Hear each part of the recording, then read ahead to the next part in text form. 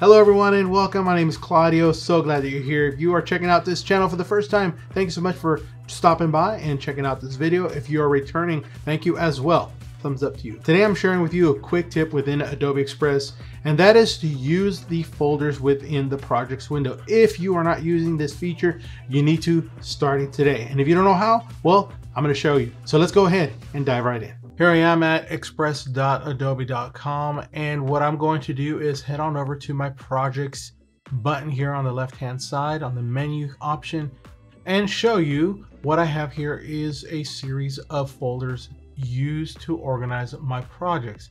Now what I'm going to do is scroll down to show you projects that are actually living or I should say abandoned or orphaned within my Adobe Express account. Some of these I will go in and delete because they are duplicates like these right here that say my project, my project, and so on. Others I created and just have not organized, but that's easy to do. But first I'll show you up here at the top, I have all these folders.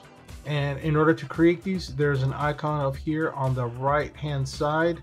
You click there and then you have the option to create a folder. Right now it's showing work of genius. I'll call this demo delete because I'm going to create this and eventually delete it when I'm done with this demo here. So I'll click on create and what I'll do is shows here this demo delete folder was created successfully. I'll scroll down a bit. Here it is.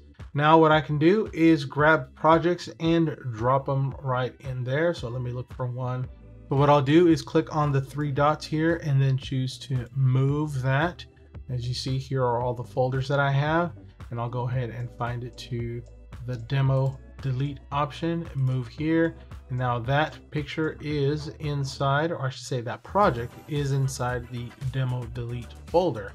The nice thing about this too is that you can actually create subfolders. So I'll click here, this folder, I'll just call this demo delete 2 and this one is actually going to live within this demo delete folder. So you can organize your projects. Let's say you have a classroom you're teaching different projects different content subjects, you can create a folder and then subfolders for different units if you are have your own business maybe you want to create a folder for your instagram sized projects and then another one for your facebook ones so all the different variations that you can use all within Adobe Express projects using this folders feature and really you can customize this whichever way you want. So now it's your turn to go give this a try, create those folders, stay organized within Adobe Express. If you have any comments or questions about this video, please do let me know by dropping it in the comment section below. Don't forget, like, subscribe, click the bell to be notified for future videos,